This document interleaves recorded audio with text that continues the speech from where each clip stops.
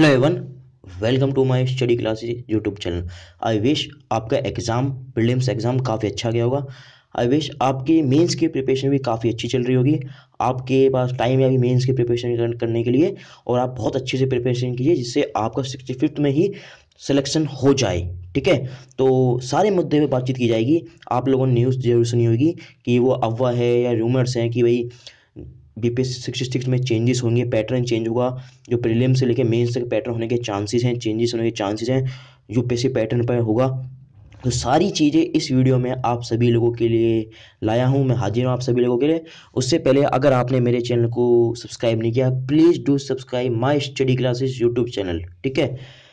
देख लेते हैं हम लोग। देखिए, मैं अपनी तरफ़ से देखिए कोई भी चीज़ नहीं बोलूँगा, क्योंकि मैं जानता हूँ कि मैं नहीं चाहता कि मेरी वजह से किसी भी स्टूडेंट लोगों को कोई भी गलत चीज़ पहुँचे, ठीक है? मेरा मकसद है, मेरे चैनल का एक एम है, बिल्कुल एक्यूरेट न्यूज़ देना फेक न्यूज़ नहीं देना। मेरा मकसद बिल्कुल भी ऐसा नहीं है कि किसी के साथ भी गलत चीज़ की जाए, ठीक है? कोई भी फेक न्यूज़ नहीं है, जो ऑथेंटिक न्यूज़ है ऑथेंटिक चीज़ें मैं अपने चैनल में प्रोवाइड करता हूँ। मेरा मकसद बिल्कुल भी ऐसा नहीं है व्यूज़ लेना, अपने सब्सक्राइब बढ़ाना ऐसा बिल्कुल भी नहीं है, ठीक है? आप लोग दे सकते हैं मैं आपके लिए रीड कर देता हूँ। हालाँकि आप आराम से समझ भी सकते हैं, मेरा फ़र्ज़ है आपको एक्सप्लेन करना डिकोड मैं आपको कर रहा हूँ, ठीक है? देखिए 25 तक रिज़ल्ट मार्च में होगी मुख्य परीक्षा। देखिए, आपका जो मुख्य परीक्षा होगी मेंस का एग्ज़ाम होगा, वो मार्च में होगा। यानी कि तकरीबन तकरीबन आपको तीन महीने मिले हैं मेंस के लिए।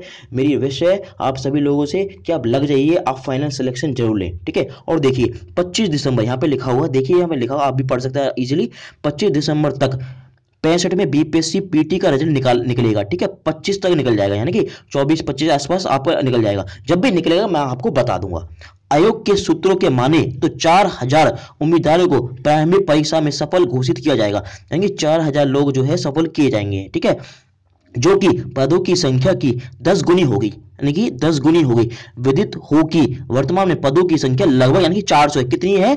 पदों की संख्या कितनी? फोर हंड्रेड है। जिसके लिए यह परीक्षा आयोजित की गई है। मुख्य परीक्षा के लिए फॉर्म भरने की तिथि जनवरी में होगी। ठीक है मुख्य परीक्षा जो फॉर्म भरा जाएगा वो कब भरा जाएगा? जनवरी में। ठीक है? आप ये चीज़ को विशेष तौर पर याद रखिए। बेशक जो है आपने आप मेन्स में, में जो वो जो जो ये लोग वीडियो देख रहे हैं मेरी रिक्वेस्ट आप सभी लोगों से आप सभी लोग मेन्स में क्वालिफाई करो और फाइनल सिलेक्शन ज़रूर लो। 400 लोग मेरी वीडियो ये 400 लोग ही देखें। मेरी विश है आप सभी लोगों से। आप 400 के 400 ही सिलेक्शन लो, ठीक है?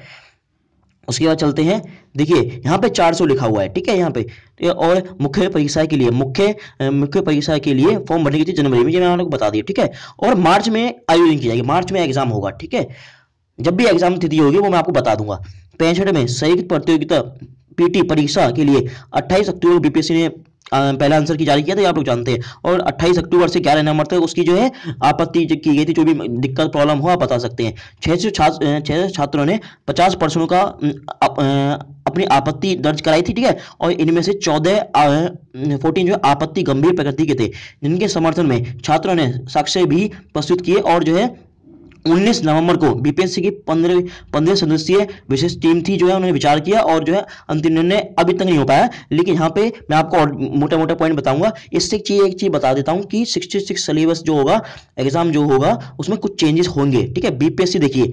बीपीएससी के वर्तमान सिलेबस में सिक्सटी भी जो है संयुक्त प्रतियोगिता परीक्षा से कई तरह के बदलाव किए जा रहे हैं। पीटी से लेकर, पीटी से लेकर मुख्य परीक्षा तक यूपीएससी पैटर्न पर आधारित होगा, ठीक है? ऐसे पे, ऐसे में परंपरागत सिलेबस पर परीक्षा की तैयारी कराने वाले छात्रों के लिए शिक्षित, सम्मिलित परीक्षा प्रतियोगी परीक्षा बेहद महत्वपूर्ण है और जो छात्र इसमें सफल नहीं होंगे, उनको आगे नए सिरे से अपनी तैयारी की तैयारी को व्यवस्थित करना होगा, ठीक है? आपको जो है, मैं इसलिए विश कर रहा हूँ आप सभी लोगों से कि आप 400 के 400 छात्र जो मेरी वीडियो देख रहे हैं, वो सिलेक्शन ले लें और जो है फाइनल सिलेक्शन ले लें। प्रीलिम्स में ले मेंस में ले फाइनल सिलेक्शन अपना ले, ठीक है? और उसके बाद देखते हैं, एक सप्ताह पहले जारी होगा आंसर की। देखिए, यहाँ पे जैसे जो न्यूज़ थी, यहाँ पे कंसिडर की जा रही है, ठीक है? एक सप्ताह पहले होगी आंसर की। 25 दिसंबर तक पैंसठवीं पीटी का रिज़ल्ट निकलेगा और उसे एक सप्ताह पहले आंसर की को विशेष समिति द्वारा अंतिम रूप दे दिया जाएगा। इन महीने तीन महीनों बाद मुख्य परीक्षा आयोजित करने की संभावना है। ठीक है? आई होप आप मेरी बात को समझ गएँगे मैं टाइम वेस्ट बिल्कुल भी नहीं करूँगा। सारी बात आपके सामने है। ठीक है?